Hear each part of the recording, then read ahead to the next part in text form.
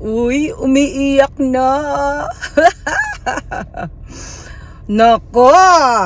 Ayan, si Iyakin. Talagang umiiyak at umaaray na at nananakot na na marami daw siyang bangbang. Nako.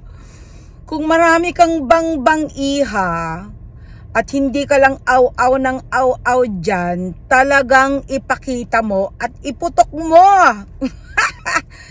puro lang naman talagang aw-aw at wala kaming nakikita tulad ng uh, walang proof na talagang yung 1 million mo eh talagang napunta sa bangko ni Mystic uh, ni Diwata.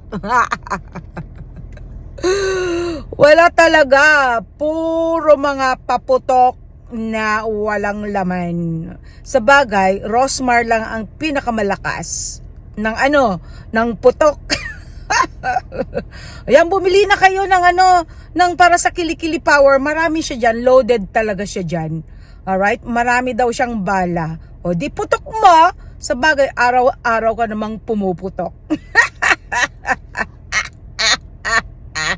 ah. Yun ang totoong paputok, di ba? Hindi lang puro aw-aw o diva.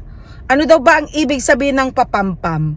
Well, tanungin nyo na lang si Dawata dahil siya yung nakakaalam kung ano ang totoong ibig sabihin ng papampam. Diva, dapat iyan ang gamitin niya kay aw-aw papampam instead na gamitin niya sa akin. Alright. Pati ba naman yung pagpapapampam ng social media, kailangan ba nandun yung anak niya sa harap niya habang siya ay halos nakahubad? Yuck! Dapat yung mga ganyan ang kinukulong at pinapaputukan.